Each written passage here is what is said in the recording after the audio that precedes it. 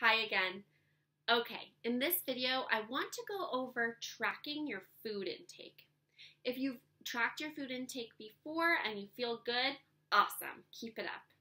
If you're a little bit newer or have never tracked your food before, don't worry, I'm here to help you. So I really would prefer if you used the app MyFitnessPal. It's free, you just make an account and then you just start tracking your food. It's really great because it actually breaks down all of your macronutrients, your micronutrients, and it even starts remembering some of your favorite foods. You can scan a barcode, it's great. What's most important here is that we actually get an accurate representation of what you're actually eating. I don't care if you eat salad every single day for the next week and that's what you show me, I I will question it. Okay? I just want you to track what you're currently doing. Your your food, your meals, your snacks, your drinks, your alcohol, everything needs to be tracked. Okay? This helps me learn you, your habits, maybe your schedule, and then we have a good starting place so that on our first nutrition coaching call, we can get right down to business, okay? Wasting no time. So, like I said, MyFitnessPal is basically the ideal, okay? That's what I would really prefer you do.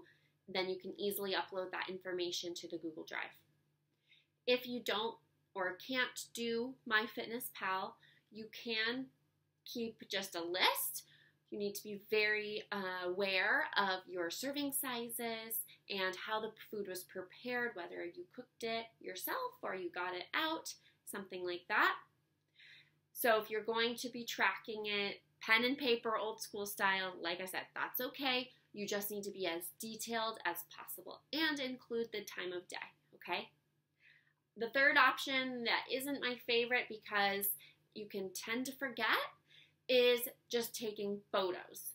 If you want to take a photo of your breakfast and upload all of that, that's kind of our last resort. Okay, like I said, number one, MyFitnessPal, that gives me the most information and really can can obtain the, the, the, the best data from that. Okay, so do that for a week. Like I said in the previous video, we want to include weekends.